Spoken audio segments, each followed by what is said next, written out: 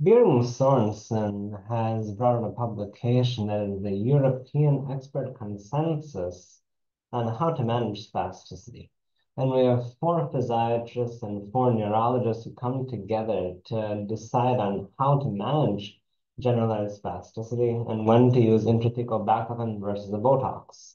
Um, they ended up surveying about 79 different practitioners who use these modalities and what they came to as a conclusion was kind of common sense.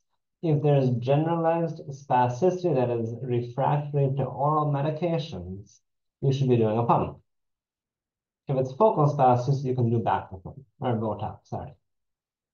Now, the question is, what does this actually add? This is kind of common sense. There's nothing special here. What it does add, though, is it shows us how much people overlook really simple treatments like a cytodorsal rhizotomy, which is on par with, if not better than, an intrathecal baclofen pump. It's a one-time deal, and it's good for the rest of a person's life.